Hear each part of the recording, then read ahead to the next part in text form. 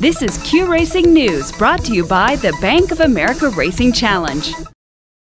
Next week, Wednesday, January 16th, AQHA and Heritage Place in Oklahoma City host the 2012 AQHA Racing Champions Awards.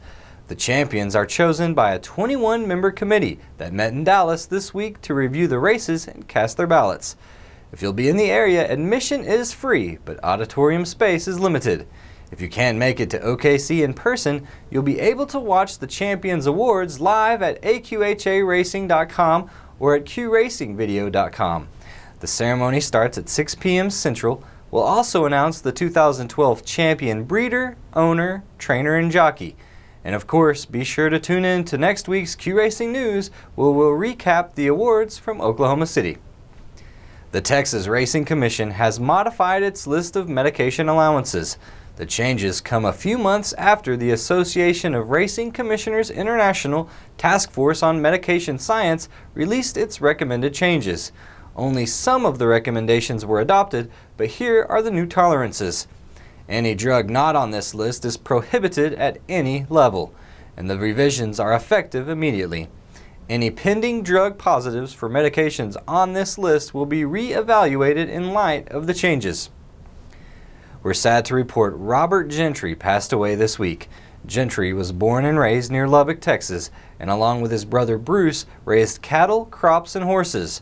The Gentry brothers were part of the group that bought the Haymaker Sale Company in Oklahoma City and eventually renamed it Heritage Place. Bob was an AQHA director and served on the racing committee. He's one of the sport's all-time leading breeders. The Gentry brothers' horses earned more than $5.5 million. Robert Gentry was 81. Los Alamitos Racecourse hosted the first major stakes race of the new year this week, the $100,000 Grade 2 Charger Bar Handicap for mares 4 years old and older. Tres of Linda would break well from the four-hole and finish strong to stop the clock at 19.770 seconds at 400 yards. Rodrigo, Rodrigo Acevas was riding for trainer Scott Willoughby. Tres of Linda is owned and bred by Christian and Ruanna Singletary and Jolene Hells.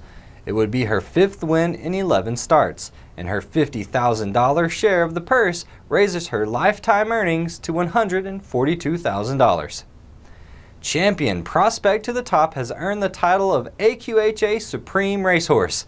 The honor goes to any horse who earns $500,000, wins two open Grade 1 races, and at least 10 races overall.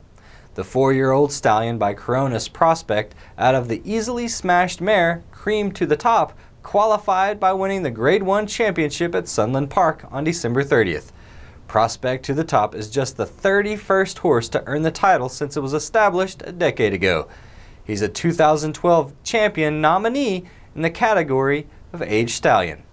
Speaking of Age Stallions, we hope to have Matt Darby back in front of the camera next week as we bring you a special 2012 Champions edition of Q Racing News from Heritage Place in Oklahoma City. Tom Dawson will host and Remington Park's Dell Day will be there too. We hope you can attend in person or watch online.